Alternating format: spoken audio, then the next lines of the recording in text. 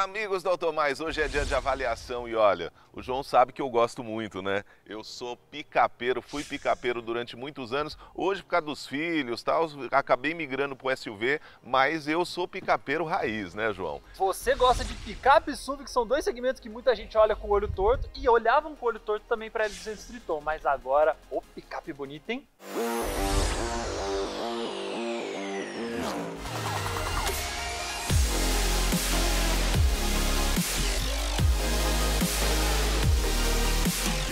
Mudou, né? Mudou e mudou muito, tanto que a Mitsubishi manteve a Triton antiga em linha, que tinha aquele visual polêmico, com a grade meio, parecendo uns dentes meio torto, um negócio esquisito. E aí manteve em linha com o L200 Triton. Agora veio L200 Triton Sport, e esse aqui o nome é comprido. Mitsubishi L200 Triton Sport HTE-S. Mas tem tanto nome, tanta letra, tanta coisa, porque ela também vem cheia de muita coisa. Mas vamos falar de visual, porque minha opinião sincera, ela é a picape média mais bonita venda no Brasil. Depois vem a Frontier nova, porque essa frente ficou robustona, quadrada, bem. É, na verdade, a, a, a, Mitsubishi sempre foi, teve muita tradição, né? É robusto, teve... mas em matéria de beleza, passou um tempo que estava meio complicado o negócio e eu acho que eles conseguiram se recolocar, né? Eu acho que eles se redimiram muito bem em questão de design, principalmente por conta dessa nova linguagem visual que tem a grade, esse elemento cromado quase formando um X para dar evidência aqui para a grade frontal. E o farol dividido que virou moda, né? A parte de cima com o LED Junior, o farol principal, aqui embaixo a seta e o farol alto. Isso aqui tem todo Mitsubishi, agora virou moda, tem cara de Mitsubishi, não tem aquele jeitão estranho. E ainda tem até lavadorzinho de farol. Isso aqui é um negócio, um negócio chique que o carro tem. Nenhuma outra picape tem isso. E na parte traseira, João? Vamos dar uma olhada aqui que mudou, que mudou bem também. Aqui atrás eu acho que era mais polêmico do que a frente antes da restilização e a Mitsubishi mexeu bem, né? Com uma lanternona grande, trocou o para-choque, e aí tem o festival de logotipo ali para formar esse nome enorme. Mas é, a traseira na verdade é assim, é tá a traseira de picape normal, eu acho que a frente convenceu bastante. E eu tô doido pra andar, vamos andar. Vamos andar, mas antes eu preciso mostrar um detalhe muito legal que a Frontier disse que foi a primeira a fazer isso, mas na verdade foi a Triton. Se você precisar entrar lá na caçamba, que não tem capota marítima de série, que é uma penalidade muito grave, pode usar aqui o para-choque de degrau. Vem aqui, sobe aqui e pronto. Boa, Dá João. pra ficar aqui na caçamba. Então fica aí, fica aí, vamos sair pra dar uma voltinha. Não, Vai, fica aí, fica aí, fica aí. Esse eu acho que era um teste que a gente devia ter feito, você na caçamba, para dar uma voltinha. Você sempre quer me enfiar nos lugares que são muito. É no chiqueirinho do carro de sete lugares, é na caçamba da caminhonete. Daqui a pouco a gente vai pegar a Fiorino e vai querer levar lá no baú. Mas o que, que a gente tem aqui com 311.990 reais enquanto a gente está gravando o vídeo? Porque pode ser que o preço aumente, né? O carro aumenta de preço a cada semana. É, do jeito que as coisas estão ultimamente, não, não é de se surpreender. Exato. Tanto que antigamente é, virava notícia você falar, tal caminhonete passou dos 300 mil, tem uma versão acima de 300 mil. Hoje não tem nenhuma caminhonete média que não tem uma versão acima de 300 mil. A gente já chegou naquele patamar que era assim inalcançável para uma marca não de luxo e agora virou rotina para as picapes médias. Tem pegada, né? Barulhão do motor diesel aparece bastante. Agora, vou te falar, de interior eu achei o acabamento muito bom. Sim, e isso foi uma coisa que me surpreendeu muito quando eu andei na Triton a primeira vez, porque eu ainda não tinha dirigido ela. E conforme eu fui olhando, é tudo plástico, normal, só que embaixo tem uma faixinha de couro. Mas nessa categoria, as outras picapes têm um acabamento bem mais simples. E aqui eu tô vendo, guardadas as devidas proporções, é claro, o valor que é pago dos 300 mil reais investidos aqui num acabamento um pouquinho mais sofisticado, ela passa, é o legal que ela passa uma sensação de luxo que as outras não passam. A Hilux é bem mais simples, a Ranger já está mais antiguinha, a, a, a, S10 tem um acabamento bem mais simples, mesmo com a faixinha de couro aqui.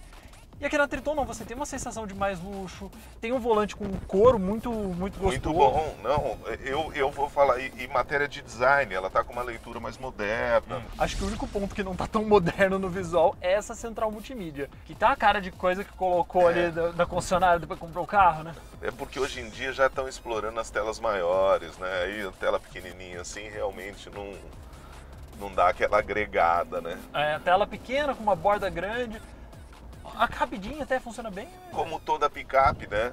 Não tem jeito, você sente bastante o piso. É, normal, né? Ainda mais São Paulo esburacado do jeito que tá. É, mas Essa pula bem, né? essa pula bem. Eu lembro daquele especial de picapes que a gente fez, que a gente testou todas menos a Triton, porque a Mitsubishi ainda não tinha frota de imprensa na época. E que a gente sentiu muito que a Ranger era aquela mais equilibrada, que pulava um pouco mais em tanto, a Amarok parecia um carro normal, que pulava zero. E aí você tinha a Hilux que pulava um pouco mais, a Frontier que pulava bastante. Essa aqui também, ela tem essa sensação de, de ser uma caminhonete que balança muito, chacoalha muito. E eu sinto na cidade que esse chacoalhar dela faz você ter que ficar corrigindo o volante a todo momento. Ela não fica tão em linha reta, assim, de uma maneira mais equilibrada. É, mas essa, essa é uma proposta que todas as picapes têm isso, né? De, de, Uhum. de você andar, você tem essa, essa sensação mais acen- acentuada. É, Isso acaba refletindo na sensação de robustez, que ela tem uma sensação. Isso também é outra.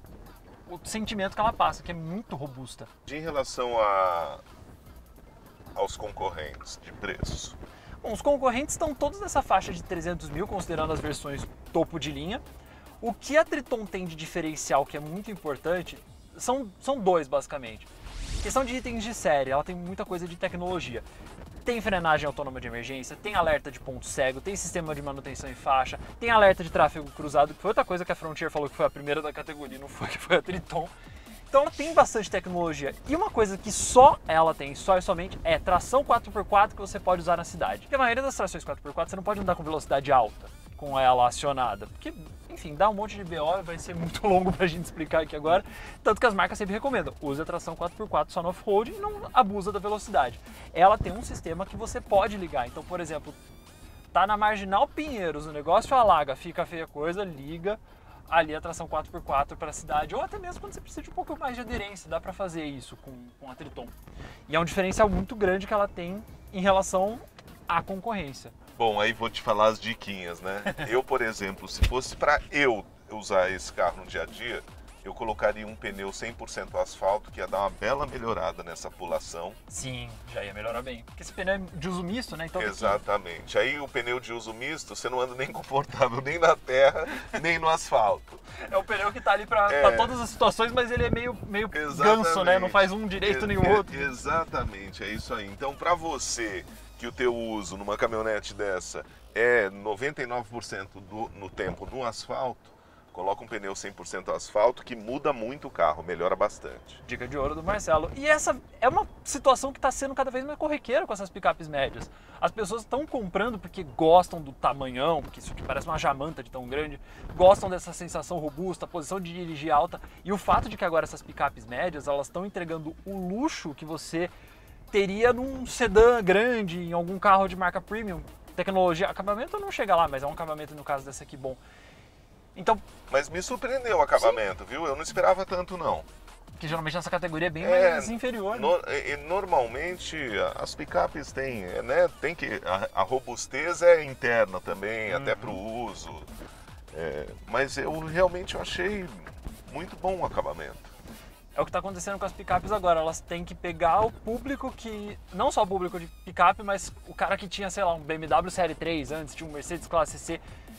Vai perder um pouco de luxo, mas ainda assim tem que ter um pouco É. para justificar os 311.990 que, que custa essa picape, todas acima dos 300 mil. É, para manobrar não é. Caminhonete é caminhonete, né? Sempre difícil para fazer manobra porque o ângulo de, de esterçamento não é muita coisa, o carro é grande pra caramba, 5 metros e 30 de comprimento. Mas ela tem direção hidráulica, que nem parece, né? Parece uma direção um pouco mais leve do que a É. gente viu nas outras que tem hidráulica. Verdade. Não chega a ser aquele- aquela leveza, aquela pluma da, da elétrica da, da Ranger e da S10. Mas, por exemplo, a Frontier tem uma direção hidráulica que é muito lenta e pesada. E da Triton é um pouquinho mais pesadinha? É, mas acho que até combina com essa sensação robusta e parruda que ela passa. É verdade. Bom, e aí, quer dirigir? Minha vez de dar uma voltinha na Triton. Aliás, na Mitsubishi L200 Triton Sport HPS. Qua- Quase chegamos no lugar pra trocar, do, do tanto que eu demorei pra falar o nome do É. carro.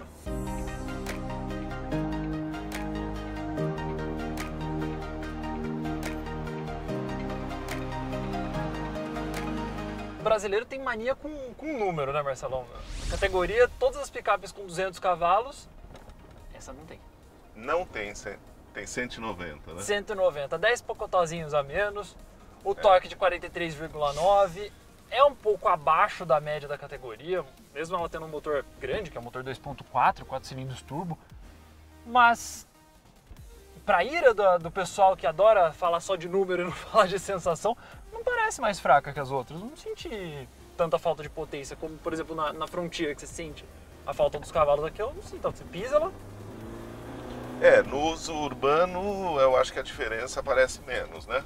Mas 10 cavalos são 10 cavalos, né? São 10 cavalos, exato. Na estrada não senti muita diferença enquanto dirigi a Triton, ela responde muito bem. Só achei que o câmbio tem um, uma certa demora para responder. E esse câmbio é novo, a Mitsubishi mudou. Era um câmbio automático de 5 marchas e agora, com a restilização, passou para um automático de 6. Eu acho que ela é uma picape, ela se pro... ela mantém o que ela se propõe, né? Ela tem tradição, tem nome, não é, ah, não tem nenhum item isolado que fala, nossa, que grande diferença, mas é, o conjunto inteiro é, é, harmônico, né? funciona muito bem. E acho que atende muito bem ao que o público de picape está buscando, que é robustez, um visual chamativo pra caramba, ainda mais esse azul que eu achei super bonito. E quando chega nessa faixa dos 300 mil reais, são itens de tecnologia e conforto que antigamente você via em sedãs de luxo, SUVs de luxo e tudo mais, e agora já está chegando em uma picape média que nunca foi pensada para isso, sempre foi pensada para trabalho, para rodez e robustez, e agora também entrega um pouquinho de luxo. E também o que você falou no começo do vídeo, o legado da Mitsubishi, o legado de competição, né? Que nem a manopla que para troca de marcha fixa na coluna, botão para ligar do lado esquerdo. Com certeza. Tem tradição, tem modernidade e tem robustez. E tem um nome grande pra caramba.